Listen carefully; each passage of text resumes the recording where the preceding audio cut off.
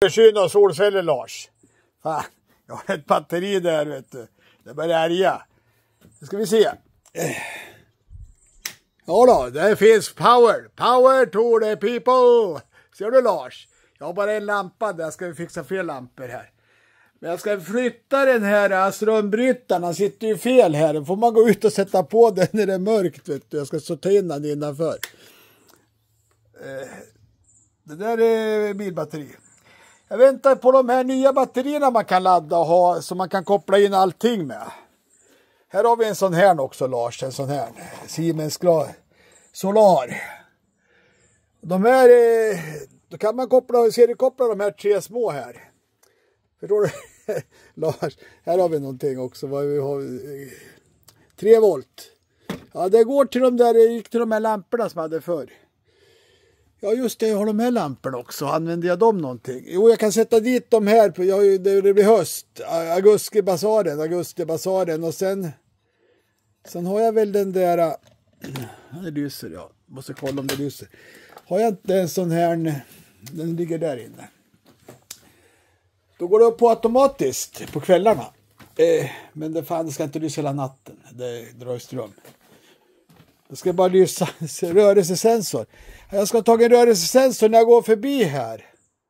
Då tänds de här lyserna, de här. Annars är det ingen vits. Som den där lampan där uppe, den tänds ju också när det blir, när jag går förbi. När det går förbi också.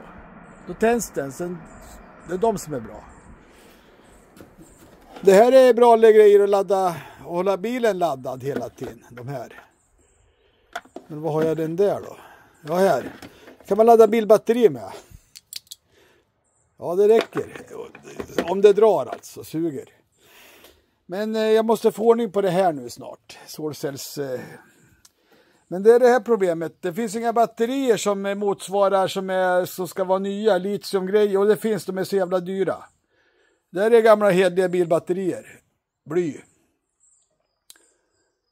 Så man kunde använda sig av de här små. Nu laddar jag bara onödan. Ja, jag, jag kan ju tända där borta. Ikväll. När det är kvällsnypet eh, då kan man, man ska sitta, då kan man, jag ska köpa fler lampor. Har jag sådana här ligger någonstans. Det är tre lampor man kan ha här. Och sen går det vidare här Lars. Här, eh, här hade jag en fläkt förut. Bilfläkt här. Hängde här. Det, det var bra den här bilfläkten. Vet du. Det var från en gammal Renault. Vet du. Då blåste den hela tiden vet du, när det var varmt. Men jag kan ju sätta en annan fläkt där om man får tag i någon som är... Då blåser det här. Om det blir varmt. Det verkar inte bli så varmt i sommar. Så det parasollet, ja det gör lite nytta mitt på dagen. Men det skulle vara det större som jag hade förut. Det här. Men eh, det, det räcker. Det, det, här var alltså, var det en halv meter bredare, det här parasollet.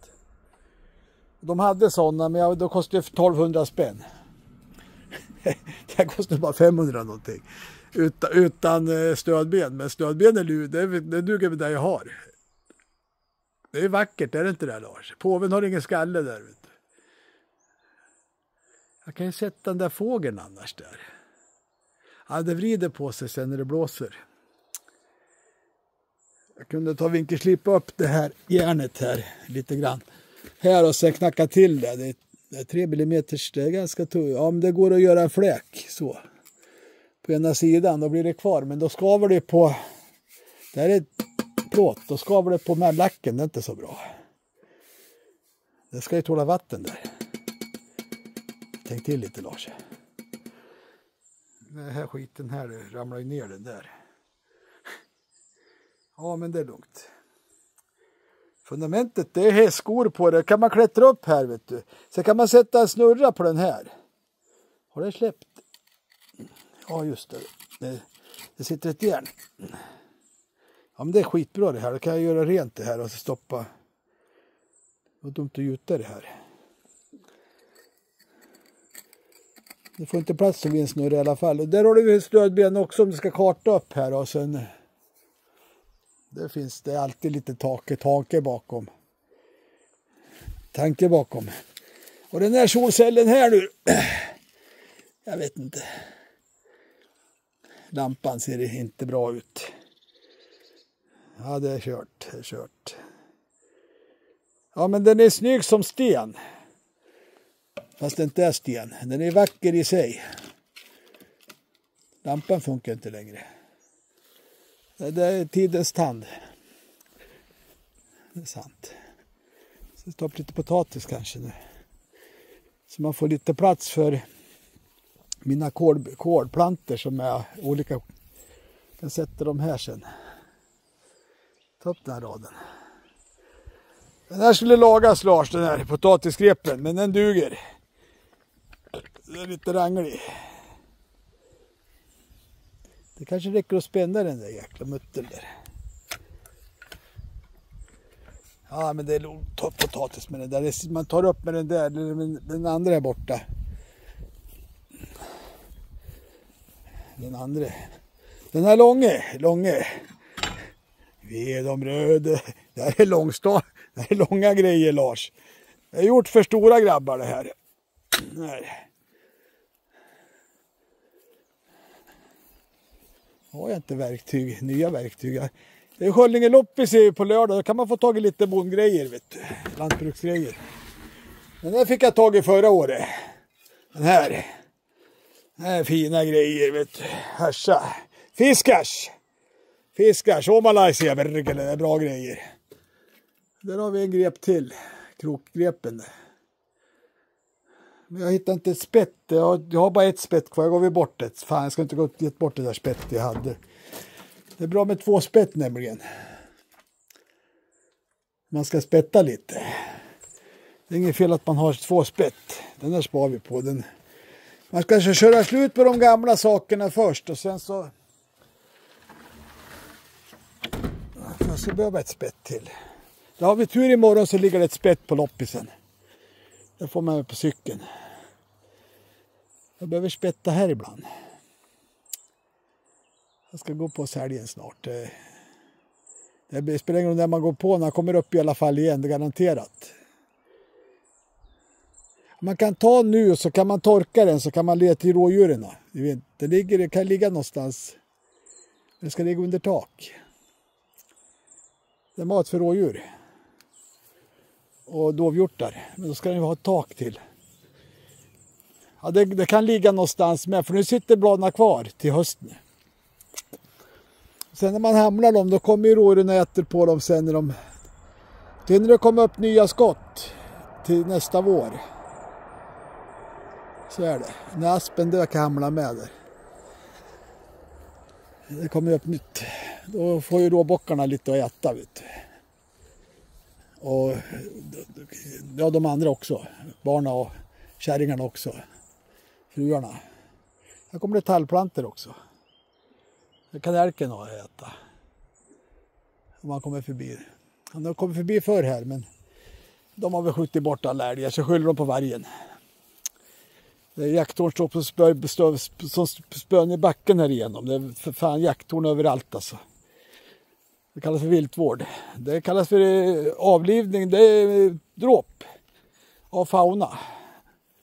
För den där jäkla länsstyrelsen eller vem som förbillar, de fuskar med mängden.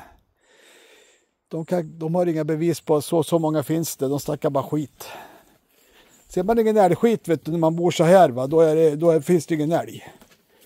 Ja, det var en eh, älg som vart påkörd borta vid Oxhagsstugan, eller vad den heter. Det är väl en på, på, på fem år. Troligtvis. Det var en fjording. då finns det väl ingen älg att snacka om. Förr då small det bara vet du ibland. Då ska man köra därefter också när man kör på där det finns älg. Då ska man köra eh, högst eh, 60 km i timmen. Automobilar. Annars kommer de. De ska över vägen nämligen. Förbi städerna också. De springer inte in i Flen men de, de håller ju till där borta vid innan Flen. På gärdena där brukar de stå ibland. Det är sant. Ja, jag vet det där, jag känner till det där. Jag har varit här ett tag nu så jag sett mig omkring lite grann. Om sig omkring sig. Bonde söker bankdirektör. Revisor söker de. Revisor. Blackrockare. Blackrock, de köper upp alla lantbruk snart. Och Bill Gates också, han är sugen på svenska lantbruk. Ja, jo, det är jorden de köper. De köper jorden, mullen. Om den är billig, men den var väl dyr ett tag tror jag. Har inte Baylan varit där och harvat också? Den åkermarken där bakom där. Baylan han köper åkermark som ombud. Sosse från Nynäshamn vet du. Åt Blackrock. Det är väl så det funkar nu. Blackrock det är en jävla fondfirma som äger allt. Den där stölp, där har vi där har vi något vi kan gräva upp. Det sitter ett ankare där. För elstölpa. Eller telefonstölpa var det. Sen de där jävla hålen, de sitter, de har gömt undan hålen för telefonstolpehålen så man kan ramla ner och bryta benen i. Vet du. Riktiga fuskare vet du. Han sa han är så jävla bråttom den där gubben med traktor vet du. Det var så dyrt med diesel sa han. Det hjälper inte om du har bråttom och sen inte gör ditt jobb. Du kan ju få påbackning om det är någon som skäller på dig. Du ska fylla igen de här jävla hålen. Stölp. kanske ligger en sån där på. Det var tre stölpar här. Då lägger man en sån här nu över hölet. Så det ingen ramlar ner. Men det ruttnar ju sen. Oj, vad myror det var. Fy fan. Myrbon. Vad är det för sorts myror? Det är intressant. Ja. Det är svartmyror. Ja, de gillar... Ja, de finns ju överallt de där. De gillar betongplattor gillar de och sen mörket trä gillar de. Det är sant. Här skulle luppen vara med. Biologiläraren. nu ska vi till Svartbäcken och kolla efter eh, salamandrar. salamandrar. De här salamandrarna de är vattensalamandrar. De är nytta, de gör nytta. Sa han det? Jag vet inte om de sa det. Har vi några bofåglar här? Stå en stund och titta om det kommer någon. Det är väl förbi nu. Det där taket skulle kunna vara lite bredare också faktiskt. Det är en tvåvåningshölk. Tömd. Det är fina grejer där. Skulle, få, skulle man få betalt för dem att sätta upp alltså. Här har vi en trevåningshölk. Den var fågel i alla fall en utav dem. Var det nere i botten? Här det var, det var tre våningar. En, ja, en, två, tre. Det är ett hål där uppe också. Det är över nu. Ja men det kommer ett år, kommer nästa år kommer det. Det kommer nästa år kommer det. Fan den här stenen alltså. Den är inte malm. Den är så jävla tung. Titta det glittrar ju om man. Det är glittersten, glimmer. Det här är, det är inte, det är inte gnejs, granit, det är något annat. Det är farligt att visa upp för då jävlar, då blir det fart på dem. Vet du. Då kommer det eh, Sven-Otto Littorin och sen eh, Rino Tinto hit och ska titta på stenen vet du. Sen blir det gruvor vet du.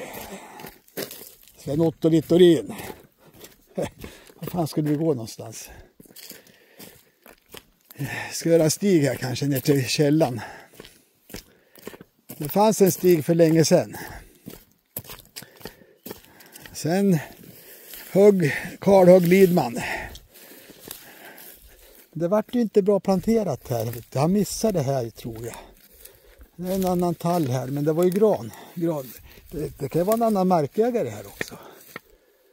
Det är där jag ska titta på kartorna. Vem som äger vad. Och Stenhammars gräns går. Jag måste kolla kartorna. Här har de gått med maskin i alla fall.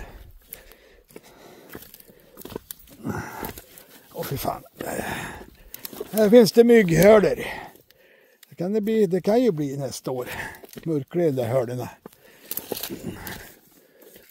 Hur fan ser det ser ut. Här nere ligger källan. Ja, det blir inte mer vatten för att de kör med sina jävla skogsmaskiner här i källan. Alltså, det blir det ju inte. Det skulle vara minst 100 meter skulle de få hålla på för vattnet. Det är ju gammal källa här. Den är äldre än Stenhammar tror jag. Eller Lidmans jävla lagård där borta. Men han köpte väl lagården. Han köpte väl marken här. Han var ingen träbaron, han var arkitekt. Han var en arkitekt. Oh! Arkitekt Lidman, här har de huggit. Ja, det är en ek va? Är det för ekens skull? Håller de på och tänker så fortfarande? Det här är också en ek. De öppnar upp för eken här. Och så är det lite björk där också. Ja, ja, det finns tanke bakom. Det var skogvaktaren som han gick med de här snöbullarna. Och då bandade han upp med gul, gult band. Bandade han upp källan här. Nu ser om det är något vatten kvar. Ja för fan, det håller ju vatten. Nu ska vi tömma den här. Ja men det har ju regnat mycket. Det kommer mycket vatten nu så då... Men lik förbannat, det ska ju vara cirkulation. Ska jag smaka på det vattnet? Nej, det tömmer. Nu ska vi arbeta lite kamrater. Nu är vi ute på skogsraj här. Skogsröjet heter det. Och sen ska vi kolla efter svamp här också. Men jag tror inte det kommer några svampar. Kantarusker. Men det har ju funnits förr här ibland. Nej, imorgon nästa år kanske det dyker upp kantisar här. Nu kan vi det här. Hej då.